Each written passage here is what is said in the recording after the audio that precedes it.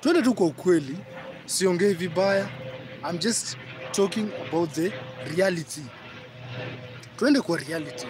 Kama wewe unasema pombe ni mzuri, sikatai, pombe ni mzuri kwako, bangi ni mzuri kwako, shisha ni mzuri kwako.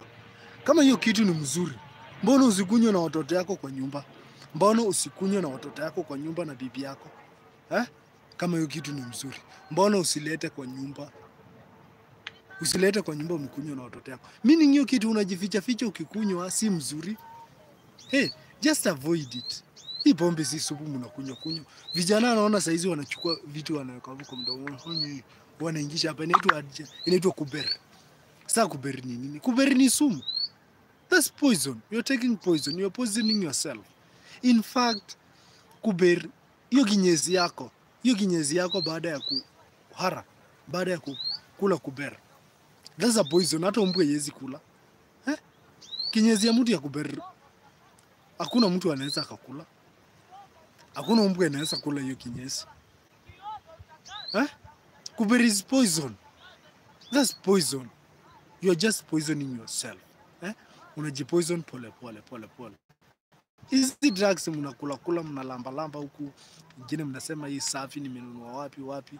You never know guys, hizi vitu zitakumaliza.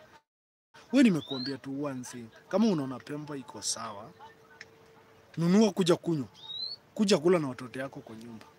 Eh, if you are a parent, kuja kula na mabeste, kuja kula na bibi yako na watoto. If you think that thing is safe, eh?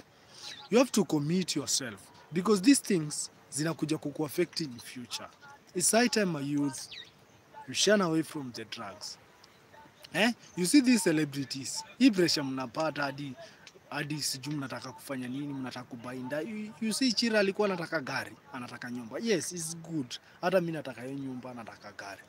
But if you don't have that money, don't force issues. This thing will come at its own time. Unajipatia stress ya bure, unakunywa pombe, eh? Unavuta bangi, ati ndio stress isha. Stress haiwezi isha. Hiyo kitu ukishamaliza ina postpone your stress.